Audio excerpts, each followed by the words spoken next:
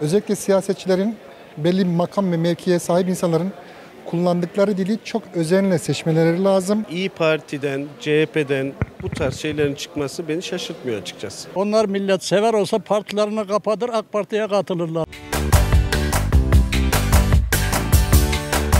İyi Parti Grup Başkan Vekili Lütfü Türkan, Bingöl'de tartıştığı şehit ailesine küfretmişti. Kayseri halkına konuyla ilgili neler bildiklerini sorduk. Bakalım ne cevaplar aldık. Ben İyi Parti'yi hiç hayatta sevmedim. Hep bütün şeyler e, PKK'lara şey veriyor, destek veriyor. O PKK'lar da Kılıçdaroğlu'na şey destek veriyor. Hatta Diyarbakır'da oturan o kadınlar şeyin Kılıçdaroğlu'nun partisinin binasının önüne otursunlar. Ne söyleyeyim o hiç yakışmayan bir şey yani. Başka ne söyleyeyim? Şehit ailesine terbiyesizlik yapmış. Küfür etmesi doğru değil. Yaptığı şeyi doğru bulmuyorum. Büyük bir terbiyesizlik yapmış. Şehit ailesi ve aileleri bizim göz bebeğimizdir. Onlara çok dikkatli davranmamız lazım. Sevgi ve saygıda kusurda bulunmamamız lazım. Şehit ailesini geçtik. Bir vatandaşa bile bir milletvekilinin topluma örnek olacak birilerinin küfretmesi, kötü söz söylemesi tamamen yanlıştır. Özellikle şehit ailesi olunca burada insan 40 kez düşünmesi lazım. Onun için atalar ne demiş? 40 defa düşün, 100 defa düşün, 1000 defa düşün, bir defa konuş. Yanlış yapmış, terbiyesizlik yapmış. Zaten grup başkan vekilinden istifa etti. Ee, bu topluma kötü örnek oluyor. Özellikle siyasetçilerin belli makam ve mevkiye sahip insanların kullandıkları dili çok özenle seçmeleri lazım. Çok dikkatli, yumuşak, hoş sözlü olmaları lazım. İnsanları kutuplaştırmamak, insanlara karşı güzel kelime kullanmak. Zaten toplum stresli, zaten sıkıntılı. Pandemi, ekonomik krizler bunlar her şey insanları geriyor. Bir de ne olur siyasetçiler insanlara germesin. Siyasetçiler insanlara güzel konuşsun. Özellikle şehit yakınlarına, gazilere, sağlıkçılara, büyüklerimize, yaşlılarımıza, ya bütün çocuklara, bütün insanlara güzel konuşsunlar. Ne olacak? Güzel sözden kötülük çıkar mı? Çıkmaz.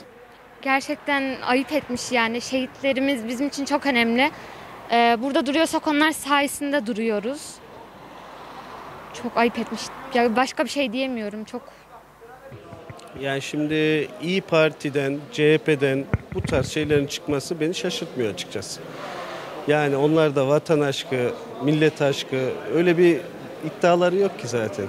Ya bugün onu söylerler, yarın başka bir şey olur. Yani ben şaşırmadım. Şaşıranlar düşünsün.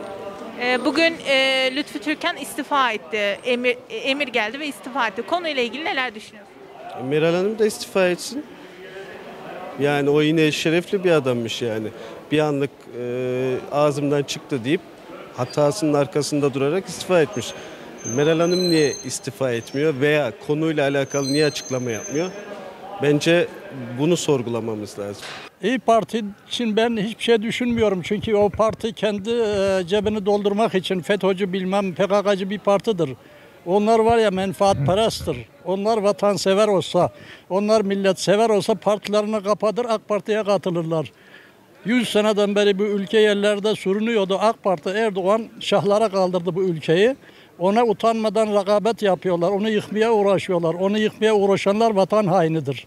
Bunu böyle bilin tamam mı kızım? Çok terbiyesizlik yapmış. Çok insanlığının hiç alakası yokmuş o adam. O adam burada olsa bu adını sıkar öldürürüm ben o adam. O adamdan ne vatana ne millete hiç kimseye hayır gelmez.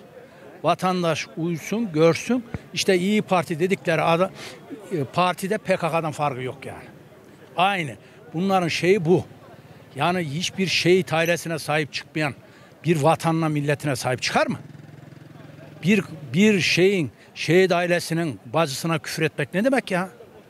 Hiç görülecek bir şey mi yani? Yazıklar olsun ona. Onun hemen milletvekilinden istifa etmesi lazım. Hemen. Bugün şey zaten geliyor. grup başkan vekilliğine Elinden istifa et. edildi. Ama o yeterli değil. Yeterli değil. Bir de en çok üzüldüğüm taraf ne CHP'nin ne e, Akşener'in, Şener işte Meral Akşener'in çıkıp da bir kelime konuşmayış. Bu bizim bir Türk milleti olarak kanımıza çok dokundu. Yani o ha onun kardeşi şehit kardeşinin abisi ha bizim. Aynı değişen bir şey yok. Bu yapılan kötülük o arkadaşa değil, şehide değil, bütün şehitlere, Türk milletine yapılmış bir kötülüktür. Çok görmem. Çünkü PKK ile işbirliği yapan insanlardan ne beklersin? Onlar daha vatanı satacağı da geride. Milliyetçi kalıbı altında görünüyorlar. PKK'nın danışkasıdır bunlar. Onlar FETÖ'nün devamları. Bu memlekette zaten insanları kandıran yıllardır CHP, ondan sonra HDP çıktı, ondan sonra iyi diyorsunuz ben kötü parti diyorum da. Bunlardan bu memlekete ne fayda gelir ne de bunlara bel bağlayan insanlardan fayda gelir. Bunlar vatan hainlikten başka hiçbir şey değil. Onlar zaten şehidin ne olduğunu biliyorlar mı acaba? Vatan ne için vardır? Kan dökülen, dökülmediği zaman o vatan vatan değil.